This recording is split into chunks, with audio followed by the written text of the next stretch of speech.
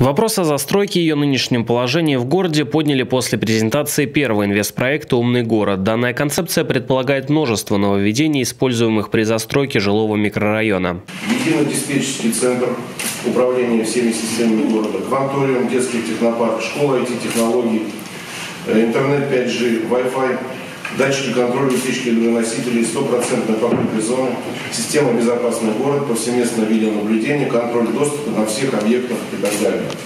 В Оренбурге уже определили участок для застройки. Находиться он будет за поселком Крона. Общая площадь более 200 тысяч квадратных метров жилья. Период окупаемости проекта равен 48 месяцев. Означает, что средства, вложенные в него, окупятся через 4 года. То есть сумма чистых поступлений от проекта, определенных нарастающим итогом, будет превышать суммарные инвестиции. Члены Совета поинтересовались о инфраструктуре. Получили ответ. Школы планируются. Две, но на коммерческой основе, то есть платные. Губернатор вспомнил о прошлых неудачных примерах, когда застройщик также обещал объекты образования обещания, но не исполнял. Благодаря всем застройщикам, в том числе и застройщику Куниловскому, значит, мы сегодня строим школы в ущерб всей Оренбургской области. Мы вынуждены это делать.